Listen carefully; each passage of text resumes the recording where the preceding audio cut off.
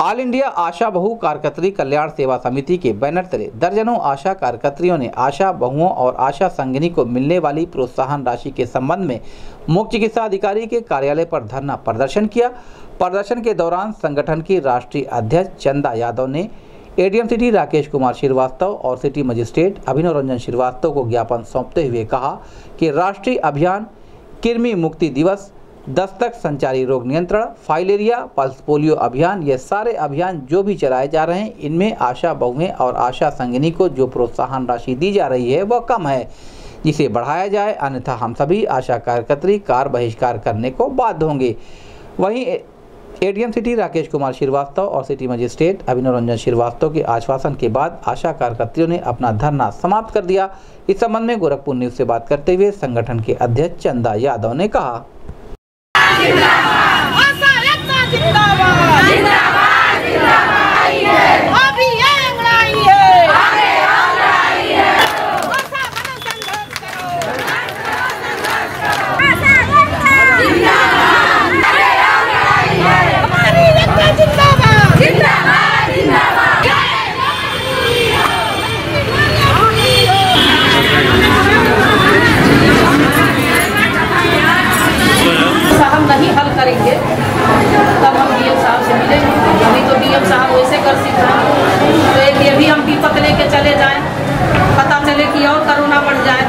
कोई पहले मेरी बात खत्म कर दूँ।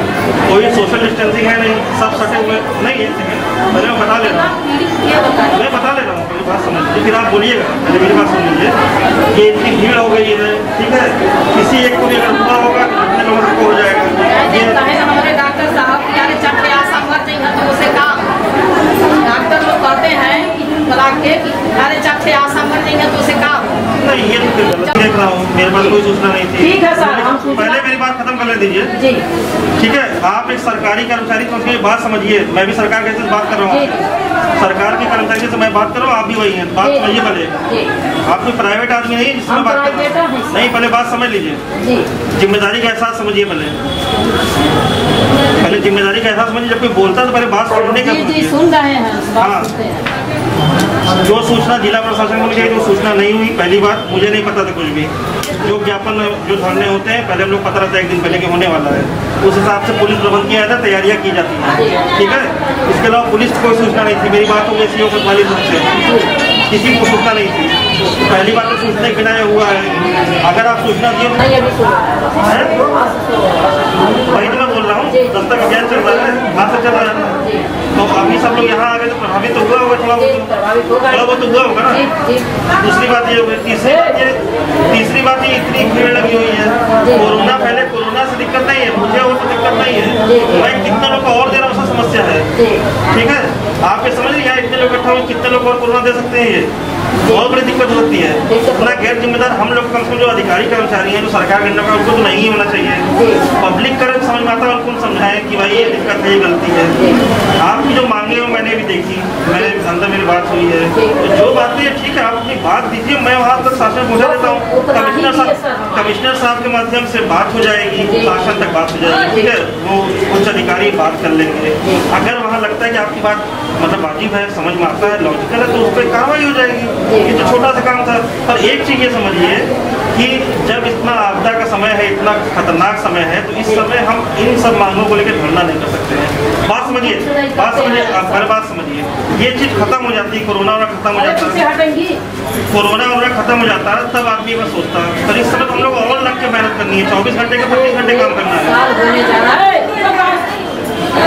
गए हैं तो सिमो साहब यहाँ गए हैं हम यहाँ से आवास पर गए मिलने हम कहें अच्छा कार्ड भिजवाएँ कि सब ज़्यादा हमको कोई दिक्कत नहीं दो मिनट हमसे हम आपसे मिलना चाहते हैं। सिमो साहब कहे कि हमारा परिवार आया हुआ है, सब लोग परिवार आए हुए हैं। अगर सिमो साहब कहे होते कि आधा घंटा, एक घंटा हमको समय दिए होते कि मैडम बैठिए कह दीजिए, बैठे हम अभी मिल लेंगे। दो तो मिनट का समय मांग रहे थे और एक आशा का जो पति है, उसका जो ये खून का जो ये बीमार था, उसका करवाना था डायलिसिस वो बेचारी भी हमारे साथ गई थी। कि सेमो साहब थोड़ा सा कह दे तो यही हमारा डायलिसिसिया हो जाए, बड़ा पैसा लग रहा है। तो कई बार ऐसी परिस्थितियाँ विषम हो जाती हैं, जब हमें मेहनत ज़्यादा करनी पड़ती है।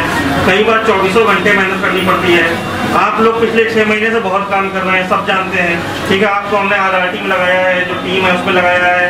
आप जाके घर घर सर्वेक्षण कर रहे हैं, घर घर जाके चेक कर रहे हैं किसी कोरोना हुआ है कि नहीं हुआ उसको फिर बांट रहे हैं। इसमें तो कोई दो राय नहीं कि आप काम कर रहे हैं, और सब लोग जानते भी हैं बात। जिला प्रशासन भी और स्वास्थ्य विभाग भी।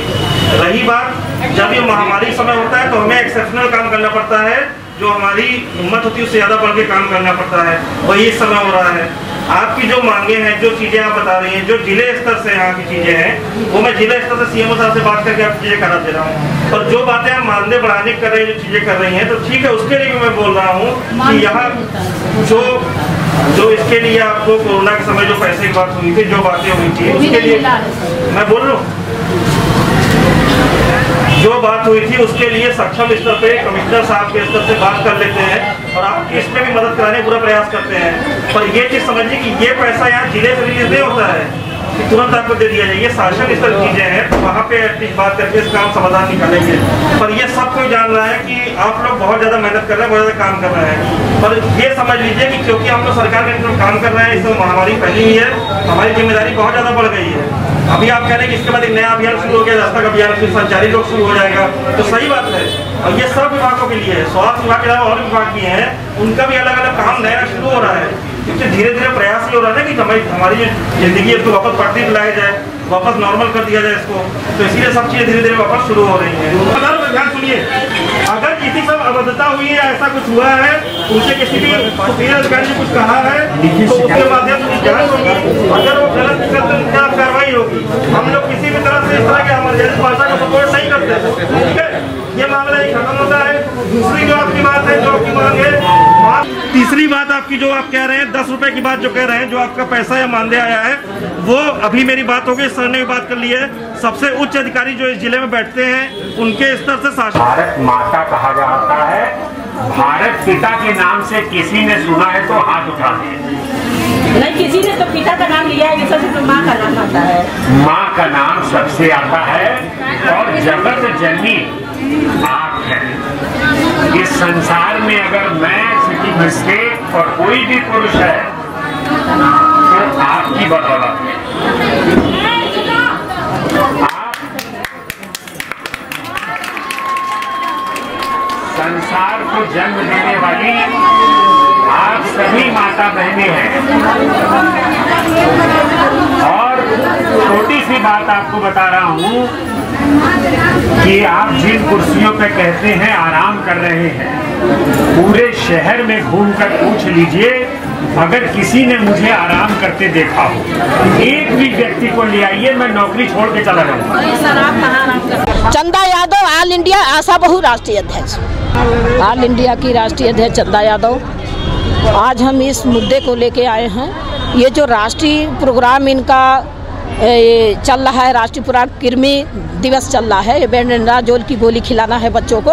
और दस्तक अभियान चल रहे हैं। तमाम अभियान इनके चलाए जा रहे हैं। जो अभियान चलाए जा रहे हैं, ये दस दिन अभियान चला रहे हैं तो सौ रुपया मात्र आशा को दे रहे हैं। एक दिन का दस रुपया हमारी आशा को पड़ रहा है। इतनी महँगाई में ये कोरोना काल महामारी में हमारी आशा बहने कार्य की, आज ये सफल हुए कोरोना काल से।